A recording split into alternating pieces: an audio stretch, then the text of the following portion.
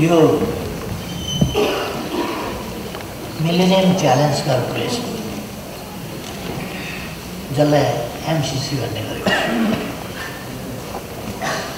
त्यसको धेरै लामो हिस्ट्रीमा म जान्न आवश्यक पर्दाखेरि पछि हामी छलफल गर्न सक्छौँ। यो सन् दुई हजार चारमा स्थापना भएको अमेरिका सरकारको सहयोग निकाय मिलेनियम च्यालेन्ज कर्पोरेसन सुशासन यसको शर्तहरू तपाईँहरूले सुन्नुभएको हुन्छ सुशासन जनतामा लगानी र आर्थिक स्वतन्त्रता लगायतका निश्चित परिसूचकका आधारमा विश्वका विकासशील राष्ट्रहरूको छनौट गरेर आर्थिक वृद्धिमा टेवा पुर्याउँदै गरिबी घटाउन अनुदान सहायता गर्ने कार्यक्रम हो यसका शर्तहरूमा यो लगानी जनतामा हुनुपर्ने लोकतान्त्रिक प्रणाली हुनुपर्ने। त्यसभन्दा अगाडि सन् दुई हजार दुईमा यसको जब प्रारूप तयार हुँदै थियो त्यस बेला जर्ज बुसले भनेका थिए कि यो गरिब देश छ भने पनि त्यहाँ तानासाही छ भने जनता दबाउनका लागि तानासाहीलाई सहयोग गर्न सकिँदैन। त्यसकारण डेमोक्रेटिक सिस्टम हुनुपर्दछ। त्यो एउटा कन्डिसनको कुरा हुँदै गरेका थिए। तिनै मापदण्डहरूका आधारमा सन् दुई हजार बाह्रमा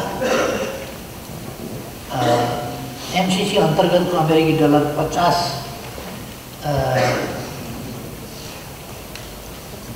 पचास मिलियनसम्मको थ्रेस होल्ड कार्यक्रमका लागि छनौट भएपछि थ्रेस होल्डका लागि चाहिने योग्यता पुरा भइसकेको मूल्याङ्कन गरेर उन्नाइस दुई हजार पन्ध्रको फरवरीमा अमेरिकी डलर पाँच सय मिलियन बराबरको कम्प्याक्ट प्राप्त गर्न योग्यता पुगेको भनी कम्प्याक्टका लागि नेपाललाई छनौट गरेर यहाँ मानवाधिकारको स्थिति सुधारोन्मुख छ यहाँको लगानी जनतामुखी छ। यहाँ लोकतान्त्रिक प्रणाली छ यहाँ ट्रान्सपेरेन्सी छ यहाँ सुशासनतर्फ उन्मुख छ आदि कुराहरू भनेर यो ठिकै बाटोतिर अगाडि बढेको छ भन्ने हिसाबले यसको छनौट भएको हो त्यहाँ।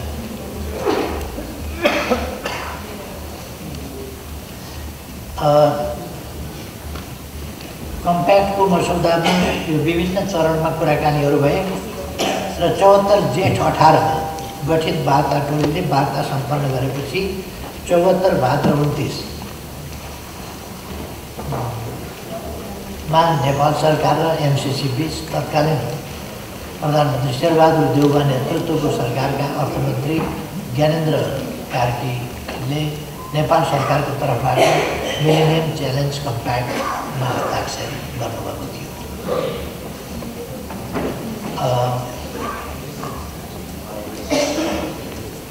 त्यो सम्झौता बमोजिम अमेरिकी सरकारले पाँच सय मिलियन डलर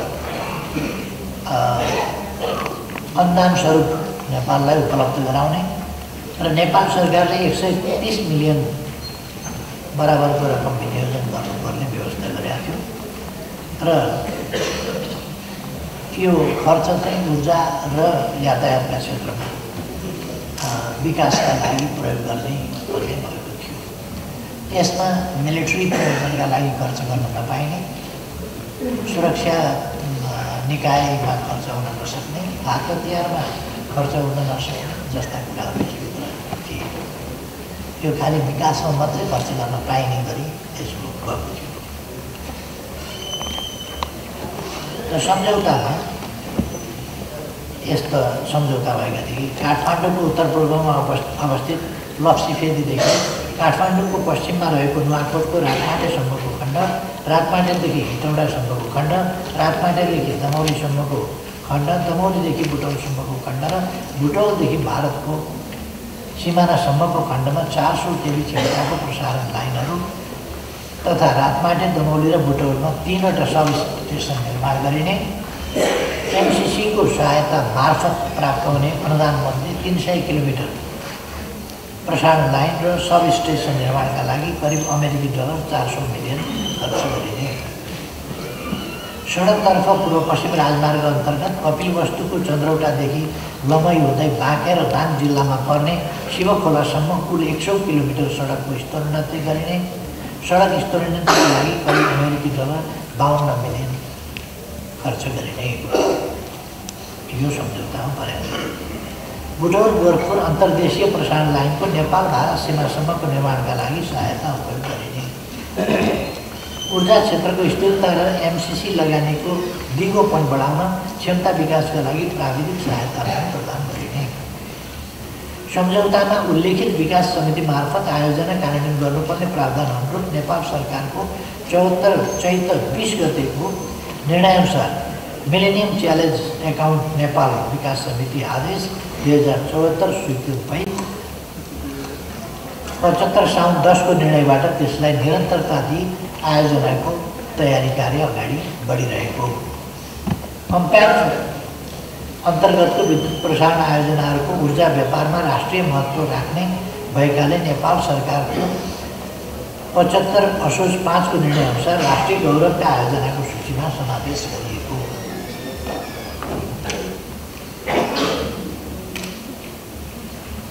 मिलेनियम च्यालेन्ज कर्पोरेसनको दुई अक्टोबर दुई हजार अठारको पत्र मार्फत सम्झौता प्रभावकारी भई कार्यान्वयनमा जानु अगावै नेपालको संसदबाट अनुमोदन हुनुपर्ने भनी लेखिआएको तथा कानुन न्याय तथा संसदीय मामिला मन्त्रालयको पचहत्तर कार्तिक छब्बिसको पत्रबाट नेपाल सन्धि ऐन दुई हजार सत्तालिसको अनुसार सम्झौताको धारा सातमा उल्लिखित the parties understand that this compact upon entry into force. Prevail over the domestic laws of Nepal. भन्ने प्रावधानलाई प्रभावकारी बनाउन एमसिसी र नेपाल सरकारबिच चौध सेप्टेम्बर दुई हजार सत्रमा सम्पन्न अनुदान सहायता सम्झौता प्रदेन सेवाको सामान्य बहुमतबाट अनुमोदन गर्नुपर्ने भन्ने राय प्राप्त भएको यस मुद्दामा अलिकति विवाद जाति यसको खासै यो भन्ने छैन यसमा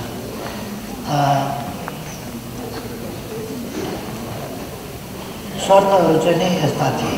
विद्युत प्रसारण लाइन परियोजनाको राष्ट्रिय गौरवको आयोजना घोषणा गर्नुपर्ने जुन भइसकेका छ। विद्युत नियमन आयोग ऐन र यसको गठन गर्नुपर्ने कुरा भइसकेका छ। प्रोग्राम इम्प्लिमेन्टेसन एग्रिमेन्टमा हस्ताक्षर गर्नुपर्ने त्यो कुरा भइसकेका छ। कानुन मन्त्रालयबाट कानुनी रायको खाकामा सहमति दिनुपर्ने कुरा भएको छ। नेपाल भारत बिचमा बुटवल गोरखपुर अन्तर्देशीय प्रसारण लाइन निर्माणमा भारत सरकारको सहमति प्राप्त गर्नुपर्ने।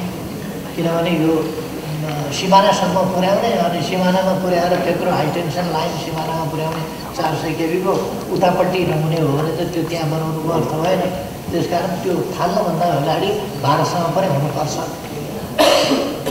भन्ने कुरा थियो र त्यो नेपाल सरकारले भारतसँग कुरा गरेर त्यसमा सहमति भइसकेका छ त्यो पनि पुरा भइसकेका छ र अर्को छैटौँ नम्बर हुँदा थियो निर्माण स्थलसम्मको पहुँच जग्गा प्राप्ति र वन कटान भएको हुनुपर्ने भन्ने यो क्रमशः भइराखेको छ यो योगदानको विषय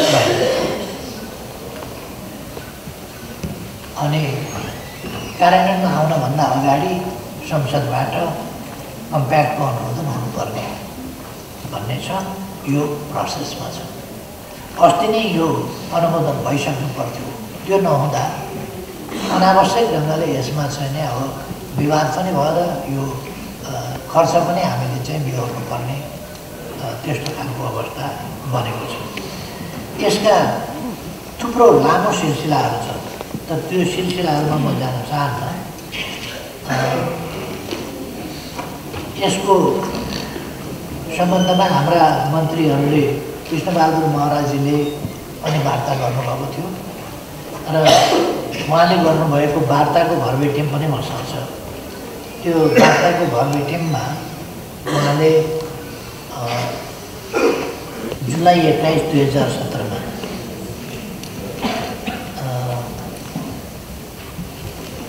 कुरा भएको थियो।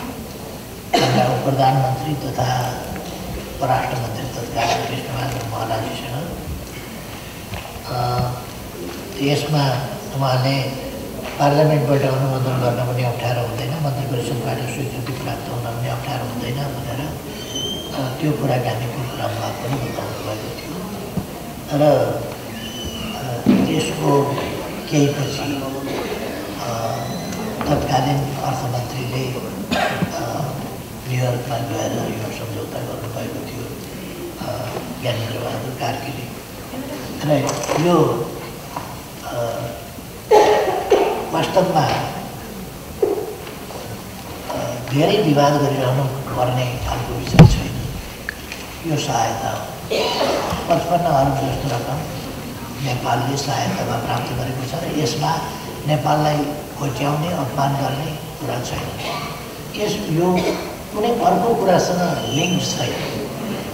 हामीले जुन सम्झ सम्झौता गरेका छौँ त्यो सम्झौतासँग मात्रै यो सम्बन्धित यो पाँच वर्षभित्र कार्यक्रम पुरा गरिसक्नुपर्छ र पाँच वर्षभित्र पुरा गरिसकेर पुरा भएन भने रकम त्यहीँ फि फ्रिज हुन्छ। फेरि सम्झौता पनि त्यहीँ टुङ्गिन्छ यो पाँच वर्षको अवधिका लागि बढीमा त्योभन्दा यतै कार्यक्रम टुङ्गियो भने यतै कार्यक्रम टुङ्गिँदा यो सकिन्छ। टुङ्गिएन भने पनि पाँच वर्षमा यो कार्यक्रम पनि जहाँ पुग्यो त्यहीँ त्यतिमै समाप्त हुन्छ र यो सम्झौता पनि त्यति नै पुगिन्छ।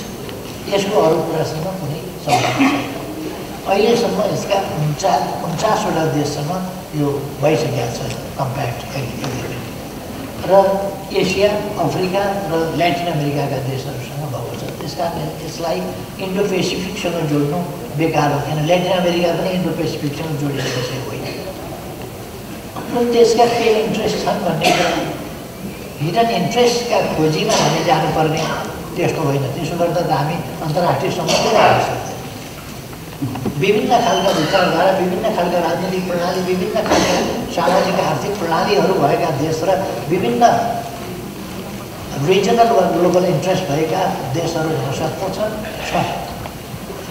तर हामीले आफ्ना इन्ट्रेस्टमा अरूका इन्ट्रेस्टका पछि हामी बुझ्दैनौँ। हाम्रो इन्ट्रेस्टमा हाम्रा प्राथमिकतामा हाम्रा आवश्यकतामा हामीले सहयोग ऋण अनुदान जे पनि ग्रहण गर्ने र परिचालन गर्ने।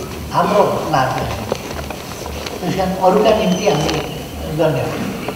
हाम्रो लाभका निम्ति हामीले गर्ने त्यस कारण यसमा अरूका के इन्ट्रेस्ट छन् भनेर हामी जाँदैनौँ। के इन्ट्रेस्ट होला भनेर त्यसको पछाडि त्यसको विश्लेषणमा गरेर के हुन्छ? हामीले हाम्रो लाभ के हुन्छ र हामी कस्तो किसिमका सहमतिमा जान सक्छौँ? कस्ता कुरालाई ग्रहण गर्न सक्छौँ भन्दा जहाँ हाम्रो सोभरेन्टीमा हाम्रो सोभरेन्टीमा यस सहमतिले कुनै प्रतिकूल असर पार्दैन। दुईवटा देशका बिचको सम्झौतालाई त्यसभन्दा पछि अब कुनै अहिले हामीले सम्झौता गर्दा यति बेरसम्म गरेका सम्झौता हामी हाम्रो कानुनभन्दा विपरीत सम्झौता गर्दैनौँ हाम्रो संविधानभन्दा विपरीत गर्दैनौँ। भोलि गएर यदि हाम्रो कानुनमा परिवर्तन भयो भने हामीले अर्को देशसँग गरेको सम्झौता एक पक्षीय ढङ्गले त्यसलाई तर यसभित्र दुईवटा मध्ये कुनै पनि देशले कुनै पनि समयमा सूचना दिएर यस कार्यक्रमलाई अस्वीकार गर्न यो कार्यक्रम अस्वीकार गर्न हामीले सक्दछौँ अथवा अमेरिकाले पनि सक्दछ र जहाँसम्म यो हिसाब नहेर्ने भन्ने कुरा छ त्यस्तो होइन हामीले छ छ महिनामा यसको हिसाब हेर्नुपर्छ त्यो कानुनी व्यवस्था छ र अमेरिकाले राखेको शर्तमा त्यो हामीले हेऱ्यौँ भने उसको यो शर्तमा पनि उसले भनेको चाहिँ कानुनी शासन र लोकतान्त्रिक अधिकारलाई संस्थागत गर्न भ्रष्टाचार नियन्त्रण र सहायताको सक्षमता र प्रभावकारिता बढाउन ध्यान दिनुपर्छ नेपालले भन्ने त्यो वार्ताको क्रममा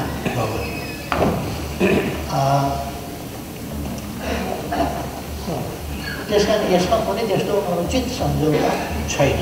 जो हामीलाई नोक्सान पर्ने हाम्रो सार्वभौमसत्तामा हाम्रो स्वाधीनतामा अथवा हाम्रो आफ्नो कुनै विकास प्रयासमा हाम्रो उत्तरदायित्वमा अथवा हाम्रो अन्तर्राष्ट्रिय सम्बन्धको कुनै पक्षमा कहीँ यो लिङ्क भएर कतै जोडिएर कतै प्रतिकूल अवस्था पार्ने त्यस्तो स्थिति छैन। त्यस कारण कमरेडहरूलाई यसमा स्पष्ट रहन आग्रह गर्न चाहन्छु यो वास्तवमा त्यस्तो अप्ठ्यारो केही छैन र अहिले भर्खरै अमेरिकी हरूले यसमा स्पष्ट पनि पारिसकेका छन् थप तसर्थ हामीले यसलाई कुनै अप्ठ्यारो मान्नुपर्ने केही पनि छैन सबैको सबैभन्दा राम्रो रातोपाटी डट कम